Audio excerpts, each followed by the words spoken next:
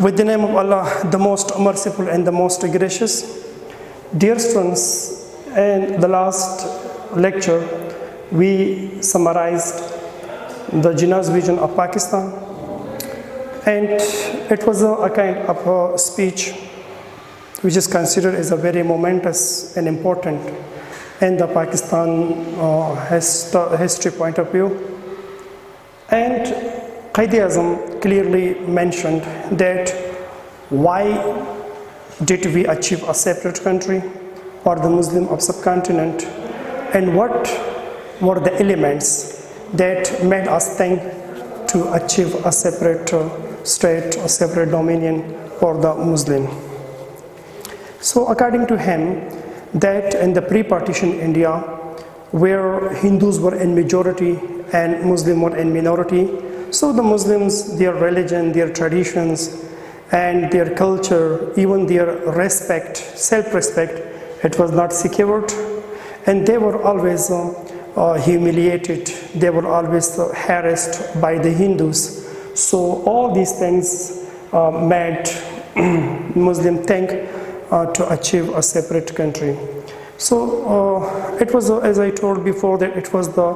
a, inaugural session of the Constituent Assembly and uh, he was addressing to the Constituent Assembly that what kind of assembly it should be and according to him that the assembly has got two primary objectives one to make to build yeah, to, con to constitute uh, constitution for the future of Pakistan and secondly to work as a, a federal body of legislature of Pakistan. And he also talked about uh, the minorities and he also talks about uh, the mm, uh, rights of the masses and especially the poor masses. So all these things were there, we discussed in the passage. So today we will discuss uh, the vocabulary, the new words, the glossary, which is uh, on page number 24, 25 and 26. So I want that you should uh, open the books and come to page number 24 so that I'm going to revise the words. You should just uh, look at the book and try to understand the meaning of it, the synonyms and uh, its meaning. So dear students, here I told you before that you have to go through the all the meanings and all the the synonyms of the words because these words uh, are asked in the ETA examination as well. So now we should start. Come to page number 24. Words and meaning. The word is abide by. So by the word abide by, it is a, a phrasal verb. PH means phrasal verb and it means to tolerate, to put up with, to accept or submit to or comply with. मतलब पासदारी करना मानना for example we must abide by the rules of our country ہمیں اپنی ملک کے جو قوانین ہیں اس کے پاسداری کرنی چاہیے اگلا ورڈ جو ہے angularity the state of being place at an angle difference disparity and discrepancy اور ڈسکرپینسی یا ڈسپیرٹی ڈفرینس اختلافات جس میں کیا ہوتی ہے جس میں لوگ ایک رائے نہیں رکھتے بلکہ ان کے بیچ ایک تضاد ہوتا ہے تو ہم کہہ سکتے اختلافات Appreciation, thanks or gratitude, an assessment of the true worth of persons and their actions and worth. हम कह सकते हैं तहसीन तारीफ किसी की मतलब शुक्रगुजारी वगैरह करना Appreciation. अगला वर्ड जो है barrister barrister at law a lawyer who has been called uh, to the bar and is qualified to plead in a higher court. خاص طور پر بڑا وکیل جو کہ ہائی کورٹ سپریم کورٹ کا ہوتا ہے اسے ہم بیرسٹر کہتے ہیں اگلا ورڈ جو ہے چیمپئن ٹو سپورٹ اور ڈیپینڈ اکاس اور این آئیڈیل جو کسی ایک نظریے کی اس کے تائید کرتا ہے اس کی سپورٹ کرتا ہے ہم کہہ سکتے ہیں جیسے کہ حامی کار ایک بہادر کو بھی ہم کہہ سکتے ہیں contentious controversial debatable disputed opinion مطلب ایک متنازعہ ایک ساز جس میں لوگ بحث و مباحثہ کرتے ہیں cordially means warmly and amicably means گرم جوشی سے دل سے اگلا ورڈ جو ہے that is a curse which is a noun something that brings اور کھاز از گریٹ ٹربل اور ہوم مطلب ہم کہہ سکتے ہیں لانت کہہ سکتے ہیں برائی کہہ سکتے ہیں یا کوئی ایسی چیز جو آپ کے لیے پریشانی اور مصیبت کا باعث بنے تو آپ وہ ہے curse cyclonic great awesome and cyclone remarkable and momentous یعنی بہت اہم ایک طوفان خیز governing decisions its own rules of law and authority state ایک ریاست جس کے اپنے اختیارات ہوتے ہیں اور اپنی طرز حکومت ہوتی ہیں emphasize which is a verb to give emphasis اور پرومیننس ٹو یا انڈر اسکور ہائی لائٹ مطلب اسٹریس تاکید کرنا زور دینا foremost first in time place اور rank etcetera chief primary principal ہم کہہ سکتے ہیں امپورٹنٹ یعنی پہلا نمایاں اہم give expression to The choice of words, phrases, syntax, intonation, etc. to communicate one's ideas, feelings and emotions. ऐसे अल्फाज ऐसी फ़िक्रे या ऐसा ग्रामर के मुख्तलिफ टर्म्स का ऐसा इस्तेमाल syntax syntax means we can say simply grammar और ऐसे intonation intonation mean the rise and fall of the voice आवाज़ में जो उतार और चढ़ाव होती है उसको हम कहते हैं इंटोनेशन تو ایسے انٹونیشن ایسے ورڈس کا انتخاب یا ایسے سینٹنس بولنا جو کسی انسان کے کیا کرتے ہیں ان کے خیالات ان کے نظریات اور ان کے جذبات کو کمیونیکیٹ کرتے ہیں دوسروں تک پہنچاتے ہیں ہم کیسے گیو ایکسپریشن ٹو مطلب اپنے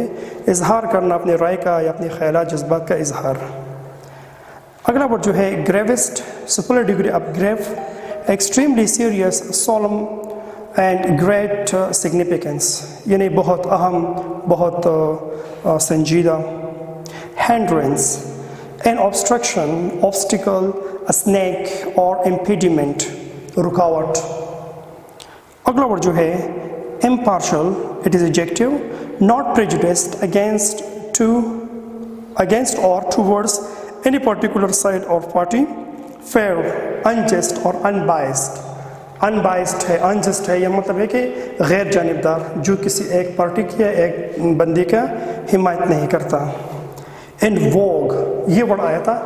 this word was thousand eighteen it is a means a popular practice اور fashion at a particular time ایک خاص وقت میں جسے کسی خاص چیز کا ایک فیشن ہوتا ہے ایک ریواج ہوتا ہے and vogue inclusive adjective comprehensive considered together without exception, ekjamia.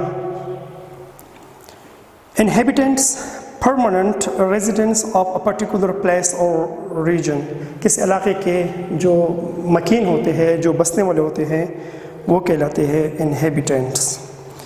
On hand, harsh or rigorous control, firm, stern, strict and stringent. اسٹرینڈ means very strict that must be obeyed ایسا کوئی بھی لا کوئی بھی بات جس کے پاسداری کرنا بہت زیادہ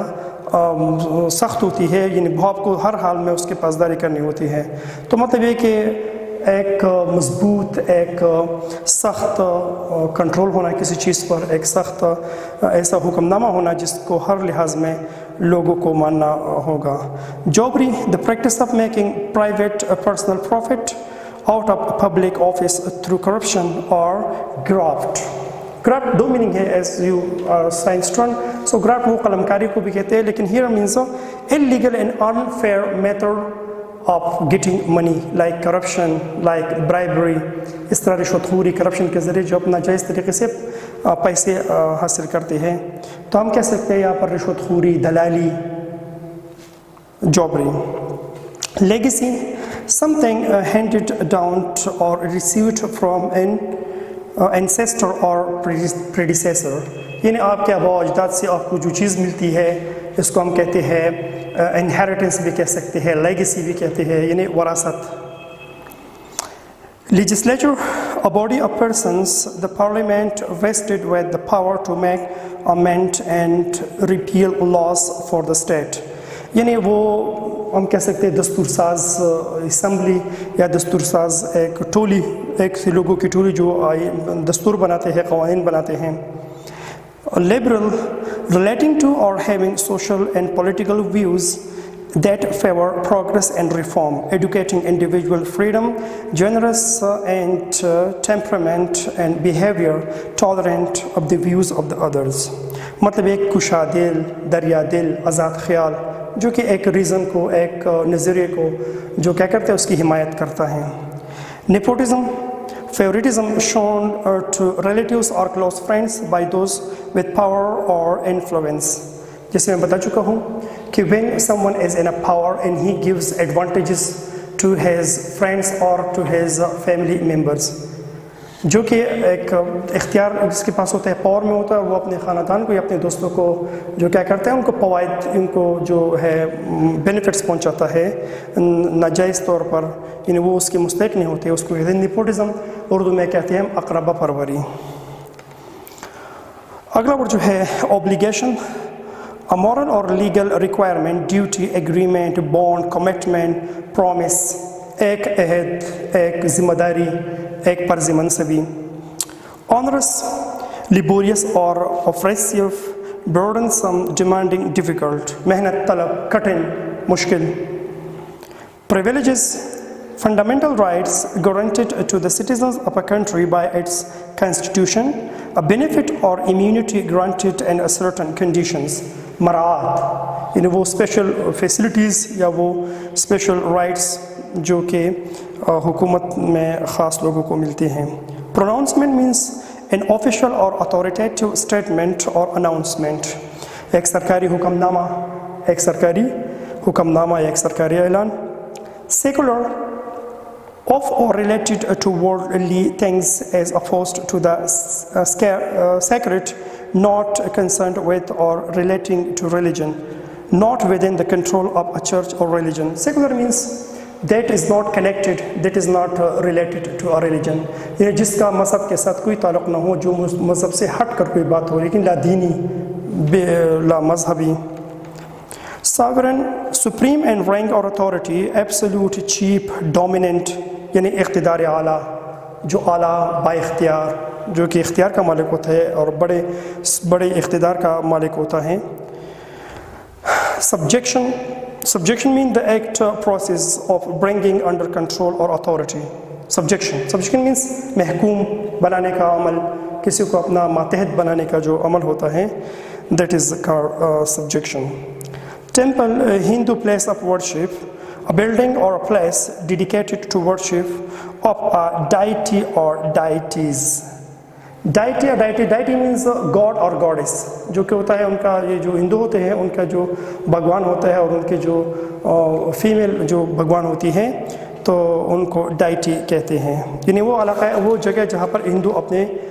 جو بھگوان ہوتے ہیں جو بھوت وغیرہ ہوتے ہیں ان کی جو پوجا کرتے ہیں that is call temple other words on page number twenty six the word is titanic titanic means huge colossal and enormous gigantic and massive यानी बहुत बड़ा बहुत अजीम to educate to support or recommend publicly plead for or speak in favor of हिमायत करना तायद करना to bury the hatchet to cease hostilities and become reconciled or friends यानी इख्तिलाफात को भूल कर दोस्त बनना to countenance, to support or encourage, uh, to sanction, to tolerate, to endure, bardash karna, matlab support karna, kisi ko himayat karna, kisi ka hausla karna, bardash karna kisi cheez ko, to vanish, to disappear, especially suddenly or mysteriously fade away, yani ghaib hona, furistrar taur par jis cheez ka ghaib hona, nazar na aana, unavoidable, uh, that which cannot be avoided, inevitable certain and inescapable یعنی ناقابل گزیر جو ہر صورت میں جو چیز ہونے والی ہو جس کو ہم روک نہیں سکتے ہم کہتے ہیں unavoidable something that can not be avoided جس کو اوائڈ نہیں کیا جا سکتا اچھا next word unprecedented having no precedent unparalleled exceptional extraordinary and in unrivalled in means can not be surpassed ایسی چیز جس کو آپ سرپاسٹ نہیں کر سکتے جس سے آپ سبقت نہیں لے جا سکتے تو ہم کہہ سکتے ہیں کہ بے مثال بے نظیر انمول next word is utmost of greatest possible degree اور اماؤنٹ حق الامکان انتہائی وارڈ ایکٹ